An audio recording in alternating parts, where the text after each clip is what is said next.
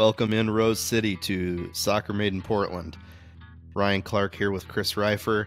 We are fresh off of last night's midweek affair for the Points. Portland for the Portland Timbers. They got Three- points. Three points against the Multiple points. the San Jose Earthquakes uh, in what was a pretty wild game overall. Uh, pretty up and down, really down at first, and then Quite. the the the we're so back segment of the of the circle, which I, I, I saw that meme a lot on Twitter last night. So there, there is, there is no. We're so back coming out of that game. We can get into that, but Sure. there is, but I mean, to the extent that anybody is is uh, is you know genuinely claiming we're so back coming out of that, that is that is purely positive self talk, uh, and has no relationship to reality.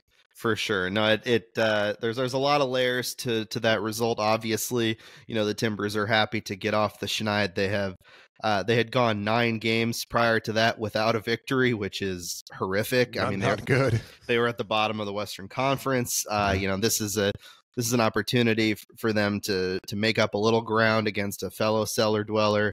Um, but but that first half, look like looking back at, at last night's game, um, down 2-0 at half, uh, looking listless, looking A un- continuation of the second half against Seattle. Yeah, really a continuation of the previous game's second half, uh, and one that showcased a lot of the issues that people had been talking about for weeks about this team. Yep. Um, you know, people in the the stadium reporting at least uh, that Phil Neville was booed coming off the field. Now, whether that was a combination of him and the refs being booed remains to be No seen. No basis to boo the refs in the first half. But but Ah, the second second half. second half is in.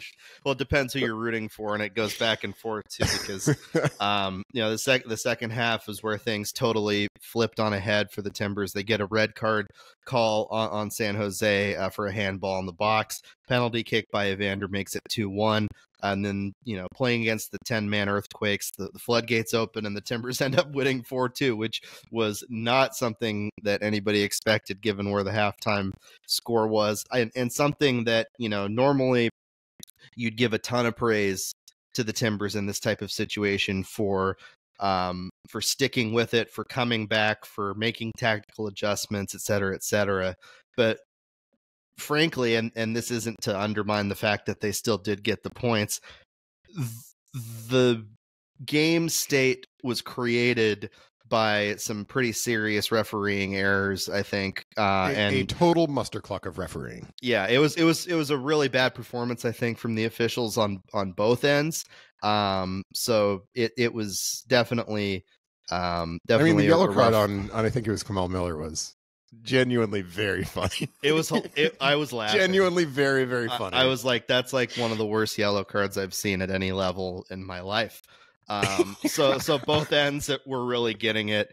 Um, and, but the and some Timbers of those benefited. calls, were yeah. the more significant calls get went in in the Timbers' favor, and I mean, yeah. I- I- so I mean, sort of my take overall is is you know you take the points, but the takes stop at the sixty whateverth minute. Yeah. Uh, when when the referee just totally messed up the game.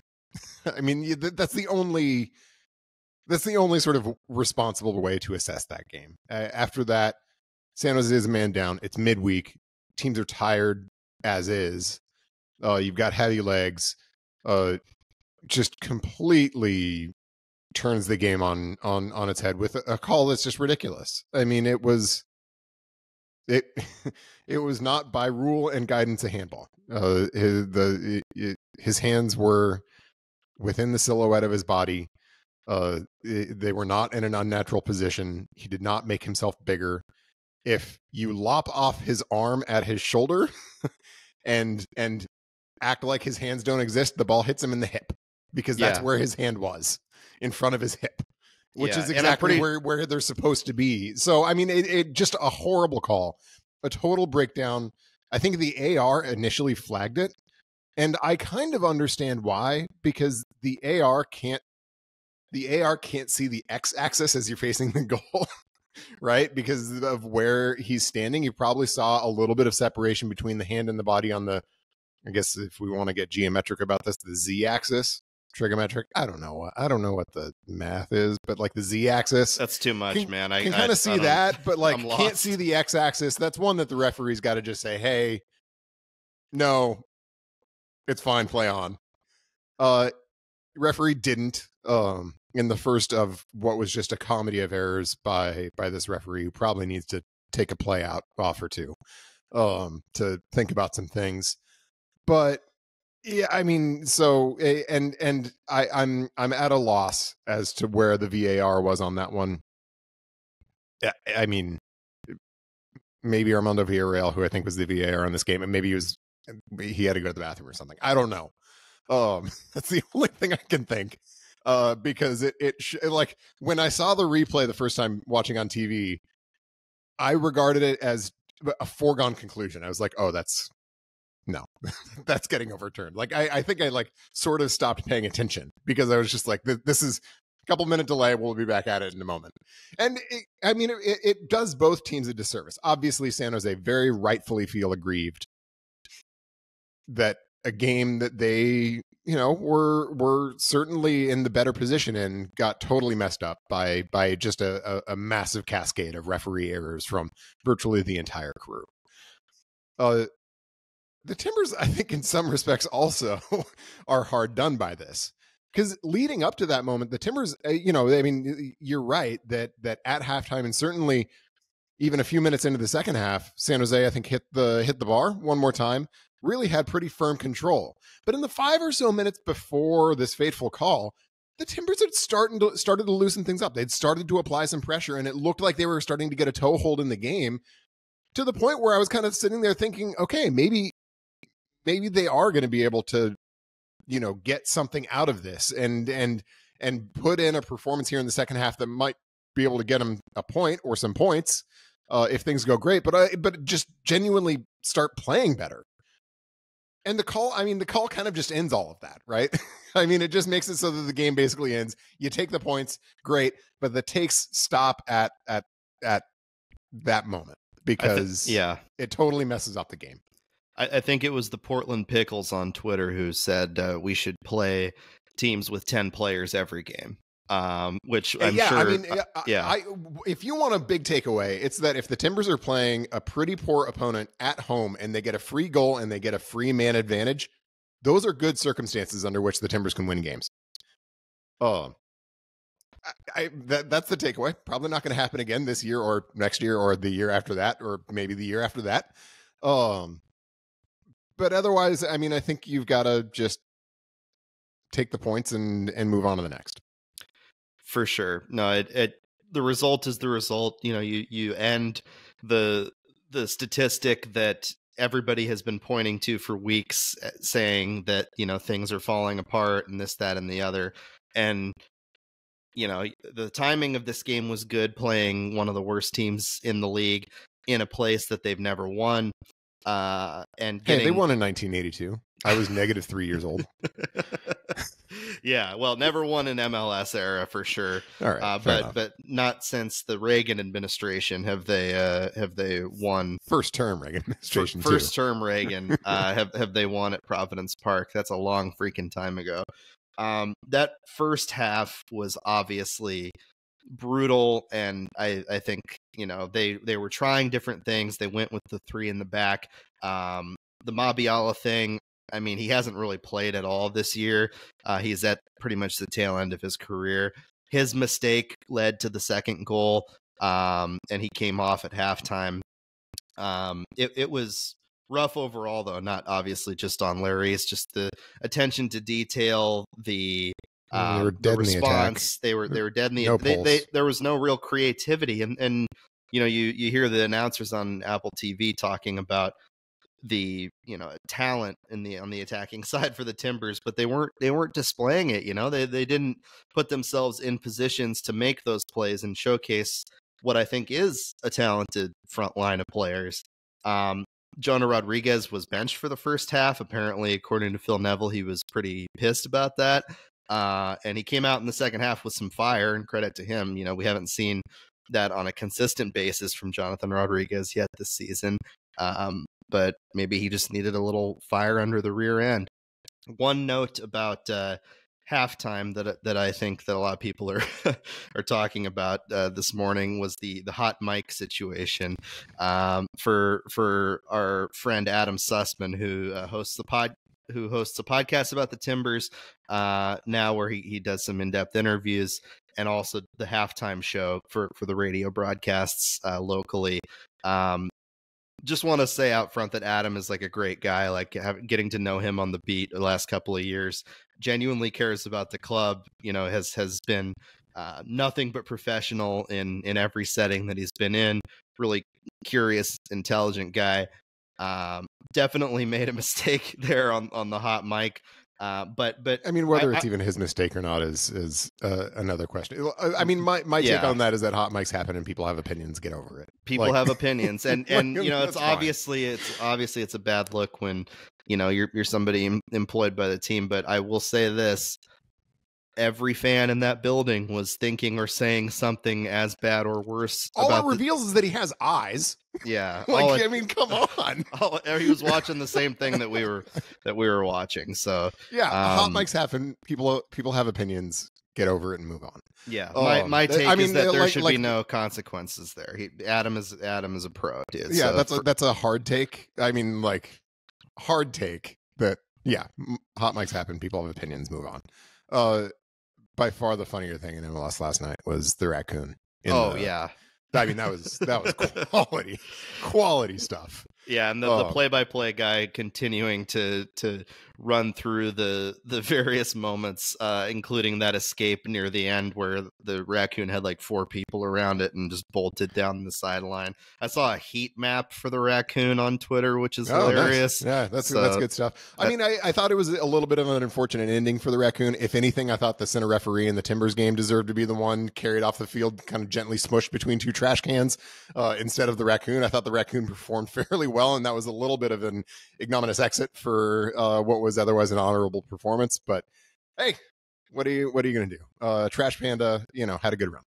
So going forward for the Timbers, obviously, then this is the result that they had badly needed, but they don't get a whole lot of a break here. They they play Minnesota United this weekend, a, a team that that has been playing very well as of late. Um, not exactly the the sort of opportunity you want to continue the momentum from from this game. You you might want maybe another home game like a I mean, little, you little can't further play out. bottom but- table teams at home every time. They got No. two in a row. They won one of them. What do you want? yeah, Eventually, exactly. you got to play like you know real teams. yeah, so this is this is them playing a real team, and They're can playing they a real team this weekend. can they continue this? I don't know. I, I I'm not terribly confident. I think that this is a a team that has still yet to figure out its identity and play with any sense of sort of cohesion. People were talking last night about the Timbers being a team that looks like they don't even practice with each other, and, and at times, honestly, like some some of the miscommunications and the passes and, and everything, Lack it was of movement in the attack, the the lack of organization in defense and, and in possession. Yeah, I mean, it's it's not a ridiculous take. what what do you think then are are some of the big things that um that you saw out of last night that were positives that that can maybe be harnessed The to vibes. I mean, in- vibes? in in, in Okay. some respects, in some respects, this is going to kind of put to the test whether the the Timbers problems are vibes oriented or X's and O's oriented. Phil Neville has ta- has staked out a pretty hard position over the course of the last several weeks that that they're vibes related, uh, and and that it's lack of confidence and and those sorts of things. Uh, I disagree. I think the the the challenges have been more organizational and X's and O's and uh, and that you know the vibes come from good organization and good preparation uh, and uh, you know i think you can expect that the vibe is going to be a little bit better around the team after after that result. Uh, caught a little bit of a break and and, and got a win got off the schneid and and you know if neville's right that this is that that the the malaise has been vibes then maybe we will see a significantly better performance on the weekend. Uh, i'm skeptical of that. I remain skeptical of that today uh, but look, I mean, only one way to find out, and that's to put it to the test. Uh, and so, if the Timbers come out this weekend and and look significantly better than they have, uh, and go and get a result at Minnesota, uh, then I think maybe you can you can say there was something to Neville's Neville's sort of position that this is a, a, a lack of you know confidence and and buy-in and, and those sorts of things. Um, if on the other hand they they turn around and they kind of look more like the team they were in the first half against San Jose or they were against Seattle, uh, then I think it's going to make his position increasingly untenable. One position though that is that is I mean it was never particularly tenable. It was always kind of hogwash. Uh, and is just like especially hogwash now are are Neville's complaints about referees. Like after that one last night, like shut your mouth about the about getting the short end of the stick with the referees. Like you, you can't say that basically for the rest of the season. Well, uh, yeah, and one. and when when you're in MLS, you're gonna more often than I think should happen. You're gonna get the short end of the stick w- with referees in in key situations, just because like the performance and the quality of officiating in the league has just been awful this year. and it, it's really up and down. I mean, it, it, and look, I mean, there are a lot of things to talk about with this. One thing that is that has been under discussed is the fact that the referee pool in MLS has had to grow significantly over the course of the last few years because of because of expansion. There are just a lot more games. There are a lot more teams than there used to be, and I think that has just made the pool less consistent.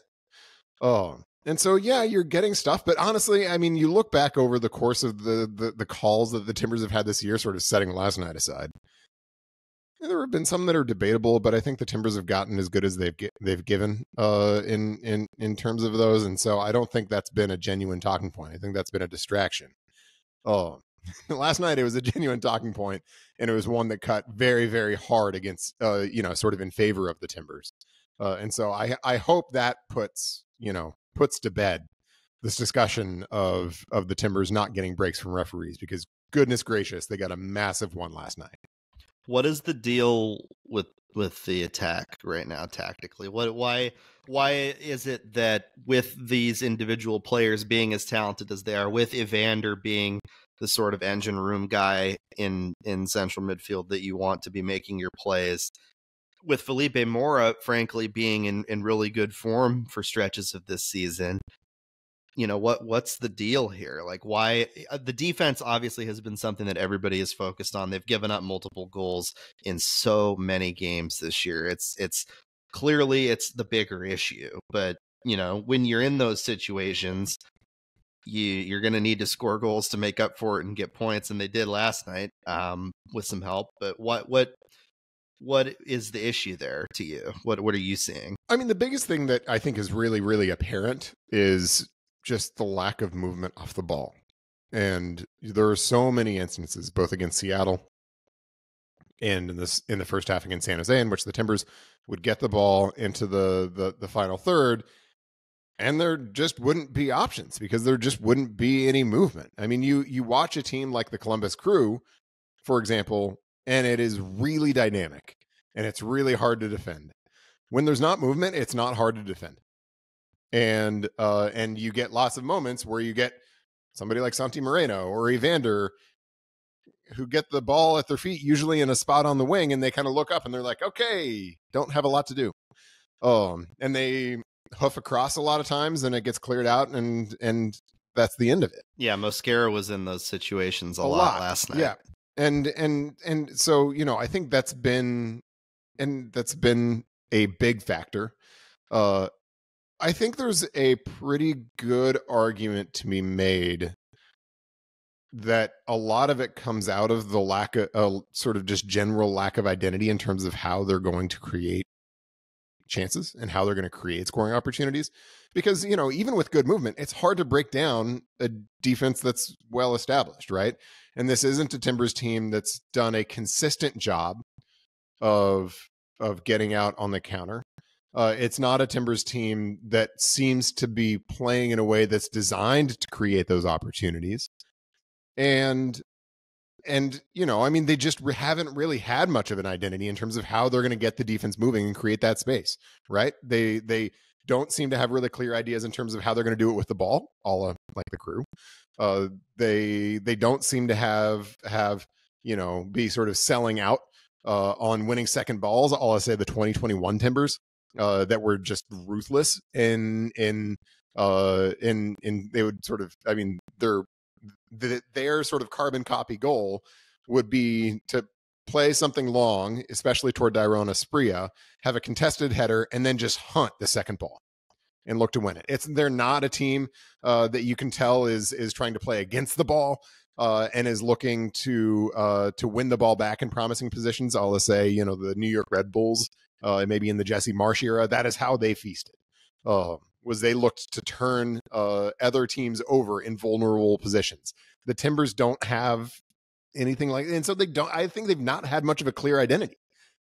And when you don't have much of an identity, then you're basically just going to be relying on finding ways in these moments to score goals. And frankly, there's a good argument that the Timbers did that better than the numbers would have expected that they would have done coming into this game. They were overperforming their expected goals. They hadn't been generating volumes of chances. They'd just been finishing at a really, really, really high rate of efficiency. And so to some extent, I think there was a pretty good case to be made that the that the downturn that we'd seen in the attack over the course of the last couple of weeks was regression to the mean as much as anything. And and you know and that's what it looked like until until the call uh, and that that totally turned the game last night on its head. And you know credit to the timbers for for you know taking full advantage of that. They almost lost it right at the end. That would have been that would have been just beyond the pale uh if they had conceded at the death uh, yeah phil i think said that that was like the most mad he's ever ever been when they they nearly conceded there at the end. And san jose actually wanted a handball in that situation. It was, I think, as close in in that one, if yeah, not I, a little le- little less uh, than than the the goal that, or the uh, the red card. On I mean, the arm was but, definitely in a more unnatural position. I'm just not sure it actually touched his hand. Yeah, um, which is of course an important element of a handball. Uh, but you know, Correct. I mean, it, it, it, it would have been a bad call if he'd made it, just like it was a bad call when he made it on the other end. Yeah. Uh, so you know, I mean, in terms of the attack, I I think I, I, really do think it is the in the moments in which they've been poor, it's it's it's tactical, it's organization, it's preparation, it's all of those things that I think have been troubling this team over the course of the last several several weeks. And I'm not sure we got a lot of answers to those things last night.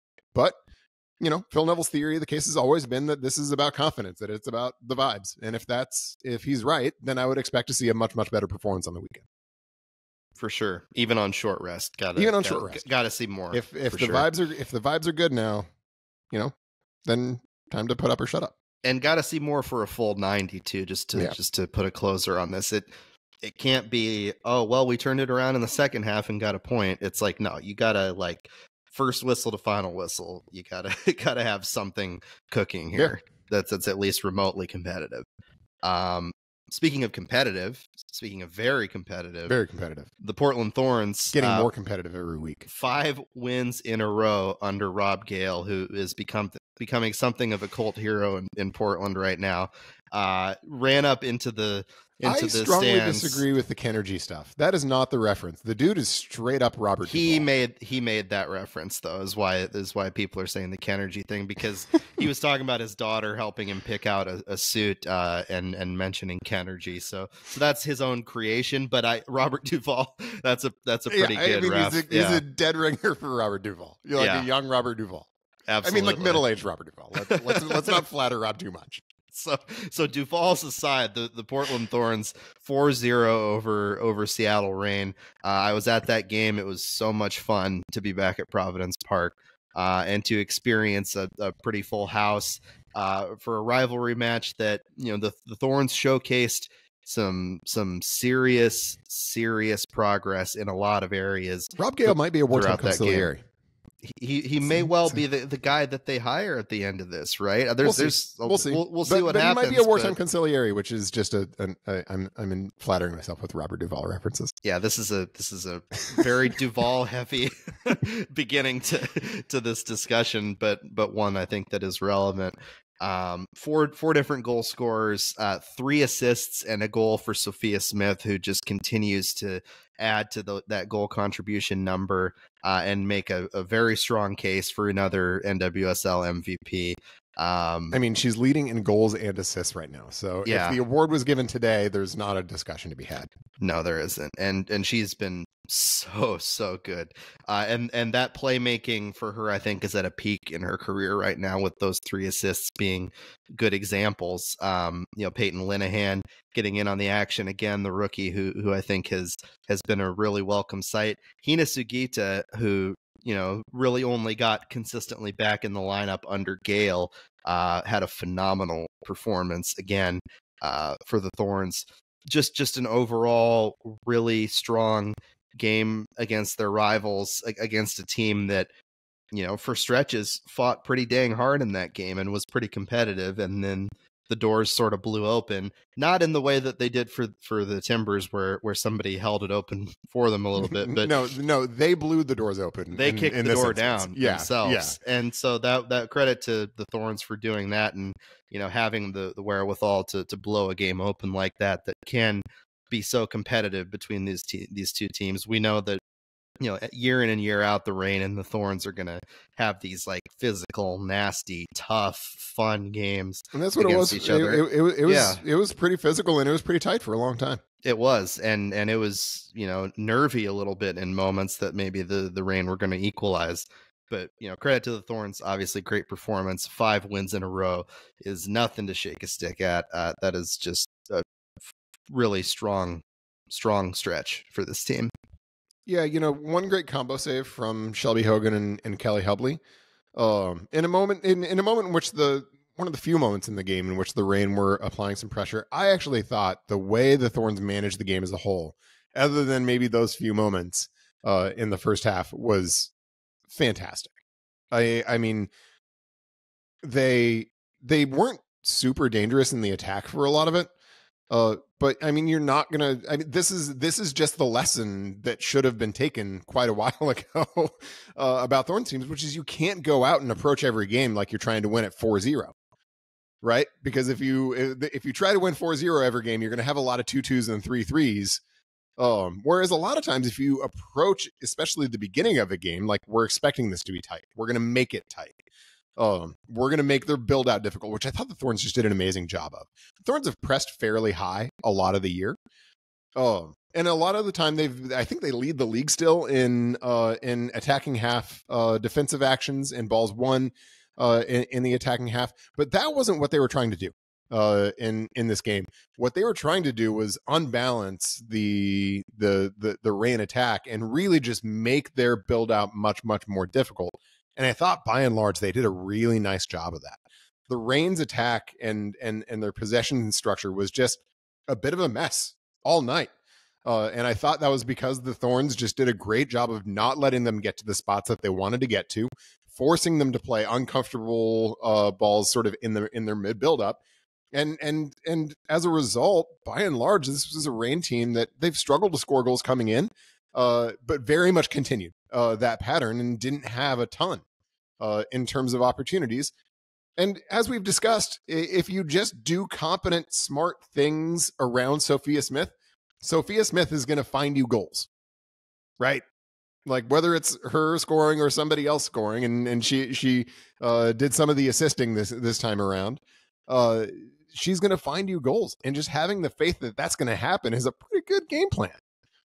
And so, getting that first one, I thought was was great, and also to be expected that that's going to happen most of the time. Uh, that that they're going to find one. It was a really good goal. Uh, really nice finish from Olivia Moultrie. Good flick on header from Christine Sinclair, and then and then Soph providing the assist. Uh, I mean, good goal from sort of a, a direct, I think, goal kick situation. Um, and uh, you know, all around, great. That's the kind of class that they have to be able to score those goals. But the thing that that I just thought was fantastic about the way they managed the game is they just chose exactly the right moment as the Reign were starting to take more risks. They were starting to push the fullbacks higher. The Thorn said, "Okay, we haven't been playing with wingers so far in this game. Basically, been playing pretty narrow. Um, now we're bringing on wingers at the same time, two of them, and it from there it was just haymakers, haymakers, and Yeah, that's how you and- win. Janine in particular, when you, as soon as she came on, Yeah, uh, it, it's funny. Uh, it it lines up sort of with uh, people had posted this video of of Sinc coming off and, and high fiving Janine. Uh, I won't obviously use the words that Sinc used, um, but but she said fudge them up. You can imply maybe, and what- they did. and, and- then it was just they did. haymakers. Yeah, it was total haymakers, and and it that ability to adjust, that ability for for the Thorns to adjust to the game state, to change their tactics accordingly, And, and that's how you win games. That's Yeah, that- how you win games against Yeah. good teams. That's how you win. That's how you, you succeed in a, a, a league that that is deep. It is. It, it's it's unquestionably, you know, a, a sign of genuine progress for the Thorns. This this winning streak is no fluke. This is a No. team that is is genuinely inspired by their coach, somebody who, as a side note, and and shouldn't be a side note, it should be a, a, a note at the the front of the the pack here. Um, Rob Gale has overcome a cancer diagnosis in the last year. He talked about it in the post game press conference on Saturday for the first time publicly. Um, this is something that folks in the organization have talked about behind the scenes as, as something that's been really inspirational. Um, and and he held up the photo of of basically a year ago prior to to Saturday's game. Um, you know, he he was getting help from from people on staff, their their spouses, you know, wheelchaired out of the hospital, um, and and was back at it uh, coaching pretty soon after. And now, in addition to you know inspiring these players through his own personal journey, he's inspired them on the pitch in ways that you know you look at those first few games where they were winless.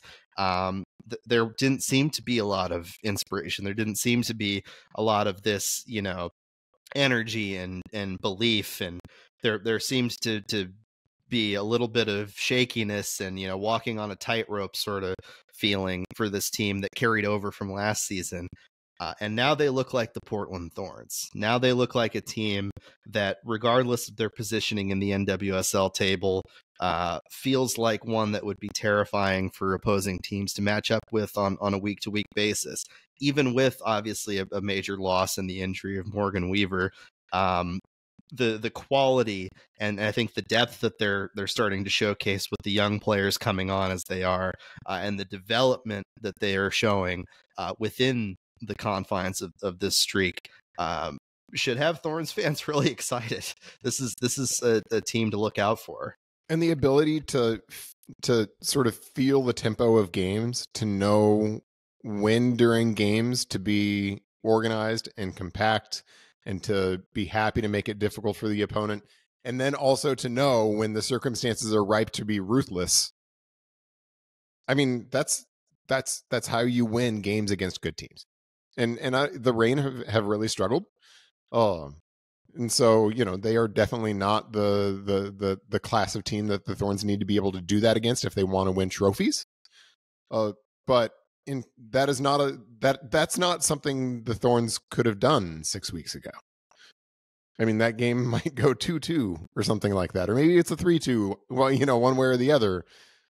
But that's not something that they were doing, and so you know, I I think I I think it's been a very very good stretch both from the team uh, and from from Gale. I think uh, Gale has done one thing that serves two groups extremely extremely well. He's given time. He's given the Thorns time to make their coaching decision. And that serves him well because that gives him time to make his case for being the not just interim head coach.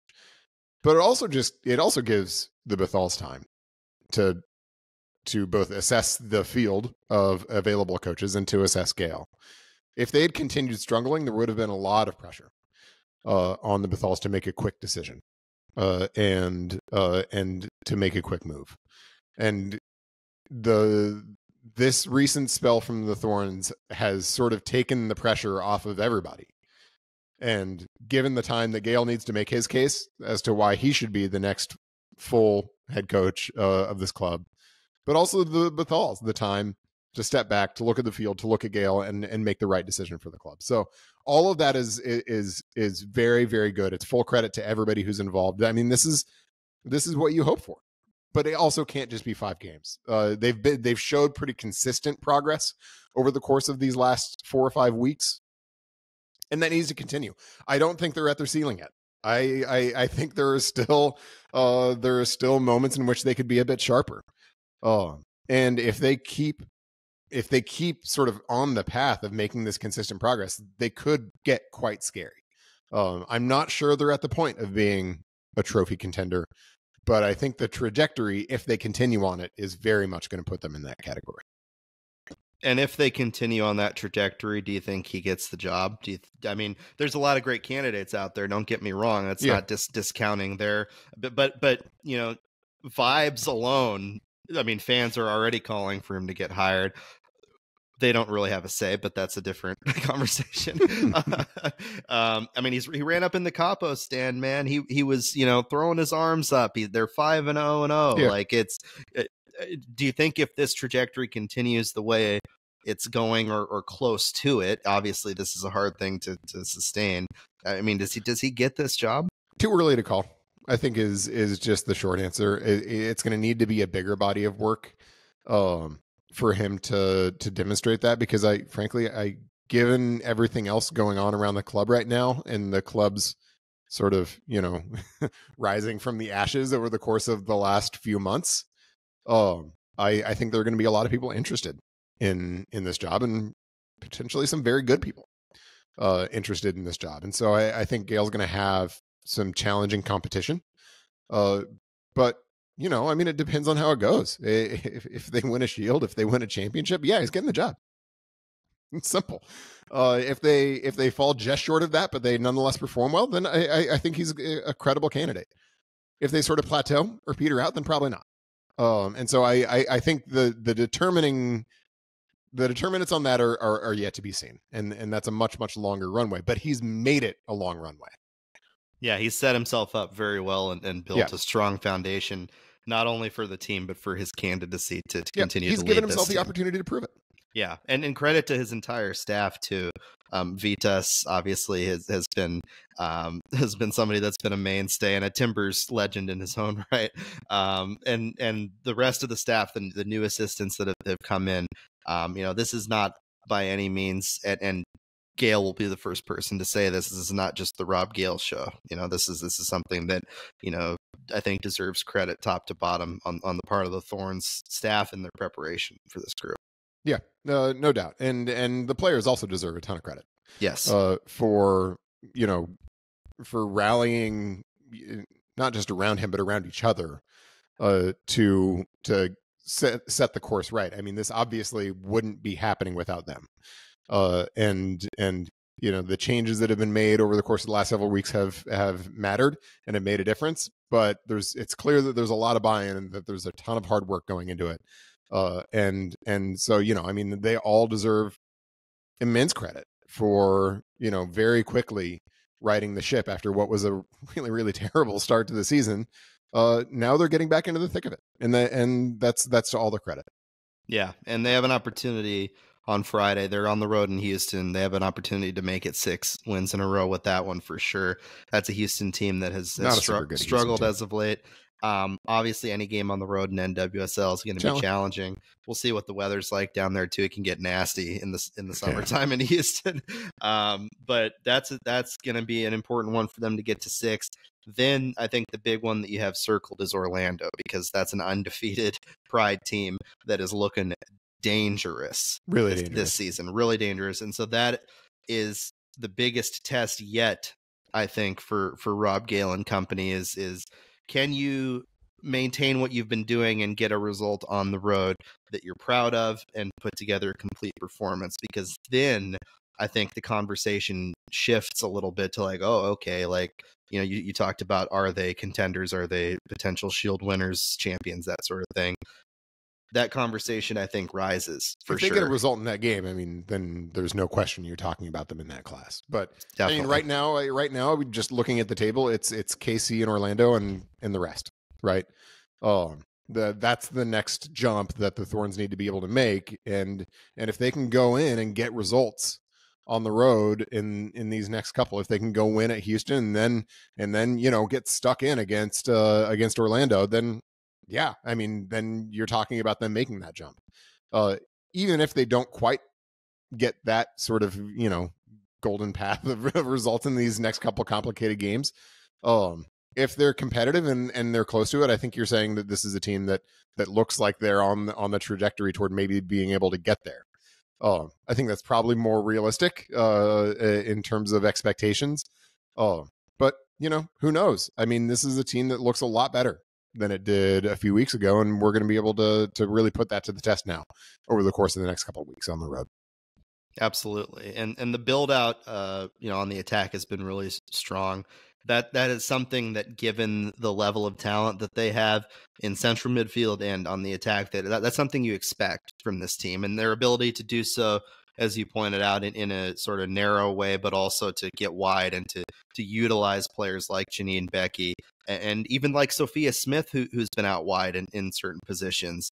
Um, I, I think that that versatility has been great the the thing that has lacked for for the Thorns over the last year plus that has been ultimately their downfall in a lot of these games has been how they've been playing at the back, how they've defended. And I think that including that obviously save of the week moment for Kelli Hubly, which like what and an Kelli amazing, needed that. I mean, amazing Kelli had a really good play. performance against yeah. against the Reign overall. It's been a rough start to the season uh, for Hubly. And so like great to see her not only have have a great moment, but have a a, a good full performance uh, in which she she she you know sort of restated a claim uh, to that spot next to Becky Sauerbrunn, which I think is is up in the air uh, between she and Obaze. I think uh, is is you know an open competition still. Oh, for um, sure but the back line has really i think improved in spades. Yeah. like it's it's been really really impressive. But I, I think a lot of it has has to you know eh, i mean a lot of it boils down to what the thorns are doing with their structure. How is their shape? How is their rest defense? What are the positions they're putting their defenders in? We yeah, saw a little bit of regression. putting, yeah the yeah. pressure that they're putting on on the teams in the back is has been significant I think we arguably saw a little bit of regression or a little bit of a down performance in that respect against Bay, even though they they nonetheless found a, a way to to to get, take the three points from that game. Um, but it's just the difference of this is not a back line that's going to do well in space. We found that out last year. Um, we found it out again this year uh, that if you're putting the this back line into lots of positions in which they're having to defend in space, they just don't really have the horses to be able to do that, right? And so, I mean, because because of just who's back there, that's not Becky Sauerbrunn's strength at, at this point in her career. That's not Kelli Hubly's strength. Uh, that's a difficult spot to put a young defender in, like, like Obaze, and, and so that's that's that's a problem. They've taken much greater care over the course of the last few weeks not to put themselves in those positions. That's great.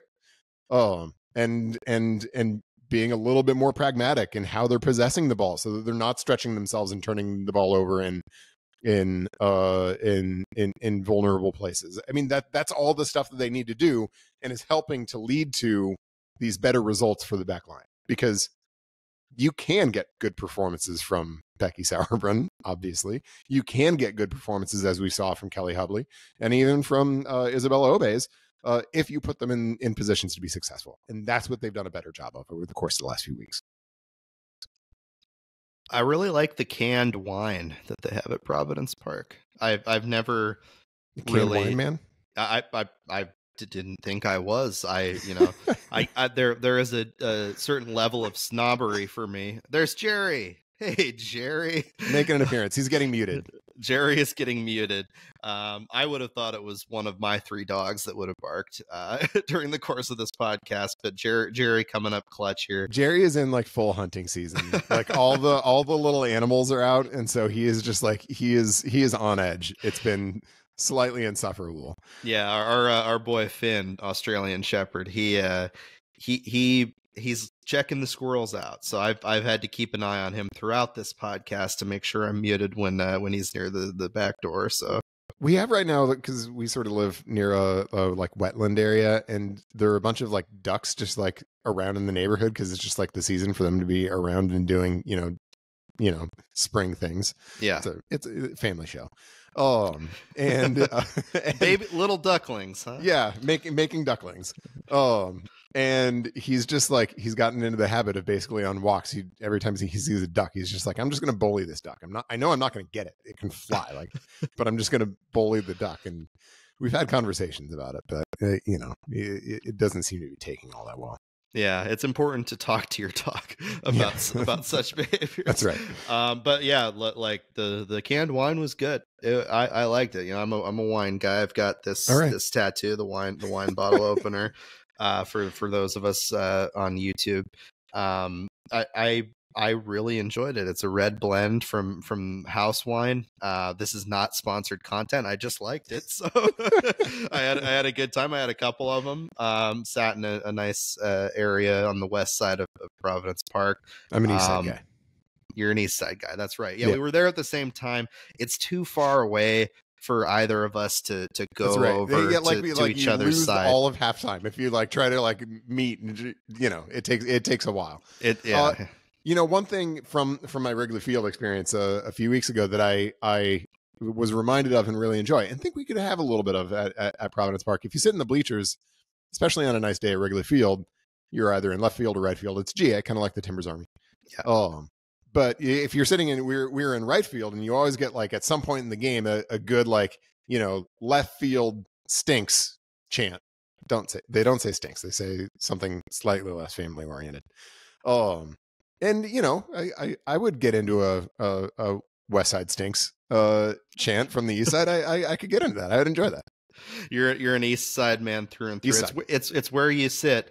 Um, but but the features and I think the experience for those on the on the East Side is tangibly different than than what It you is. get on on the West. because Because the vibes. West the West sort of blends with the North End and too in terms of um of in-game experience and and you know the concessions and everything available. But East Side is a different deal. Some West Siders would call the East Side sort of the corporate side of Providence Park. Hmm. What would you take? What would you, your take be on that that potential Uh, insult? I I think it's the side that's got the best field views and the readiest access to bathrooms. Thank you very much. that is true. You're also exposed to the sun more often, which you know that's good from a vitamin D standpoint. But It's true. can- It usually isn't a huge because I'm on the I'm on the Toyota Terrace. I don't know what the names are to be honest. The Sure. second level of the new the the expansion. Um, and it's usually like a, only a sliver of sun. It's like 15 or 20 minutes away if you get any at all. Uh, so that's usually not too bad. Uh, but you know, yeah, I mean, you, you can you get a little uh, a, a little bit of uh, of exposure there. It's nice. Just Yeah, wear sunscreen. a little SPF can take care of that. exactly. So that has been your your recap of this the stadium experience at Providence Park. Look West forward Side stinks. Yeah, I think I might be a West Side guy. I'm gonna have to go to more games, uh, yeah, and sit in different areas to to get a full accounting of, of where the best spots are in the stadium. But um, you know, we'll we'll be back plenty of times this year as as the seasons progress for both teams. Um, and that'll wrap it up for us this week on Soccer Made in Portland. Thanks to Chris as always, uh, and and thanks to all of you for listening. So feel free to Follow us on Twitter at Soccer made in PDX, Chris Rifer, Ryan T. Clarke. Like, subscribe, do all the good stuff. Uh, follow Oregonian Sports Podcasts on uh, all of your podcasting networks. A Bunch of different pods, including a, a really good episode of the Oregonian Sports Podcast uh, with with Bill Oram and Tyson Alger uh, that just came out a, a couple of days ago prior to to last night's Timbers game.